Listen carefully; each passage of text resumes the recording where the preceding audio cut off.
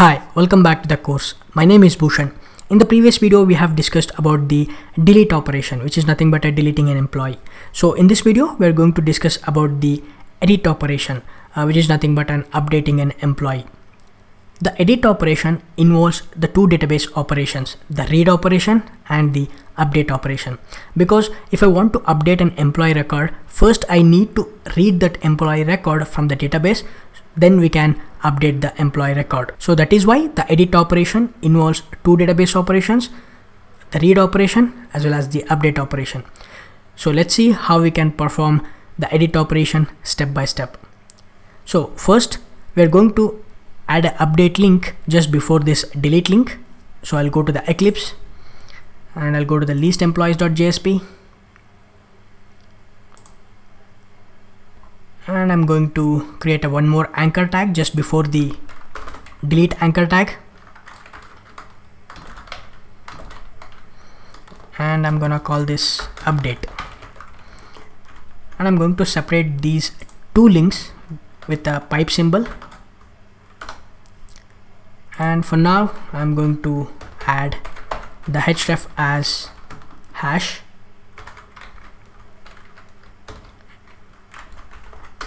I'm going to save this. And in the browser I'm going to reload the web page.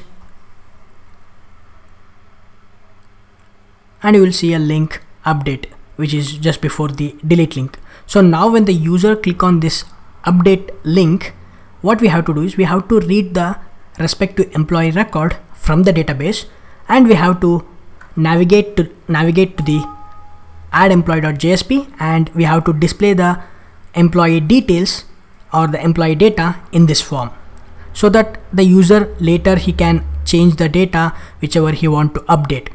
So that is the whole idea of it. The user will click on this update link. Any one of the update link the respective record we have to read from the database and we have to navigate to the add employee.jsp and we have to display the employee data in the form. So what we'll do is first we are going to get the employee id the respective employee id and then we are going to send it to the database to read the single employee record. So what I'll do is I'll go to the Eclipse and I'm going to copy this thing which is which we have created in the previous video for delete operation and I'm going to change it to update link. Update link and I'm going to change the URL to edit employee. You can give any name you want. Let me make it small letter.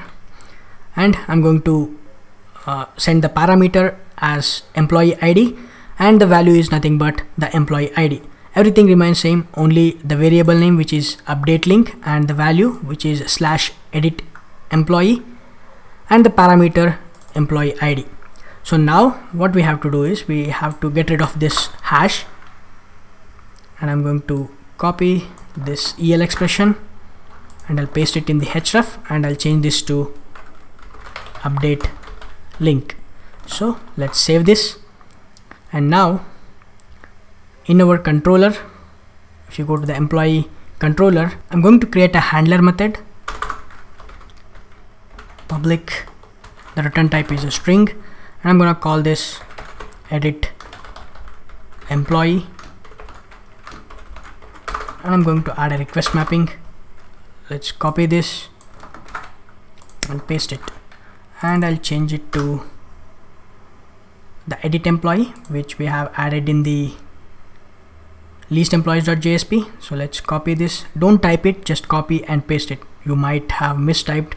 So let's copy this and paste it. So within the parenthesis I'm going to accept the parameter which is an employee ID so let's copy this and paste it here as well. So first we just print the employee ID in the console.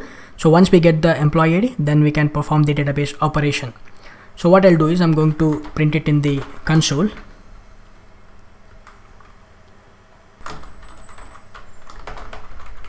Employee ID going to append the employee ID and I'm going to return the list employee.jsp for now let's redirect it to the same page. Then in the next video we are going to redirect it back to the add employee.jsp so once we get the employee object. So let's save this. And I'm going to stop the server because we made the Java changes. So we need to restart the server so I'm going to restart the server.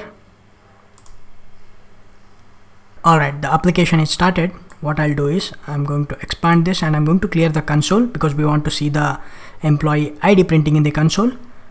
So I'll go to the Chrome browser and I'm going to reload the web page.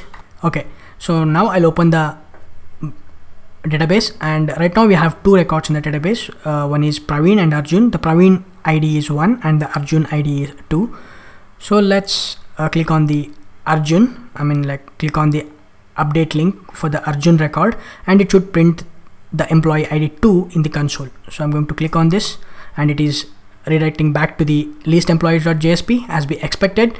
And if you go to the console and it should printing the employee id which is 2 so now we are getting the employee id in the controller. So now we can uh, send it to the database and we can perform the database operation which is a read operation. Then we will uh, get back the employee object to the controller and then we'll send it back to the list employees uh, add employee.jsp so that is coming up in the next video. I will see you in the next video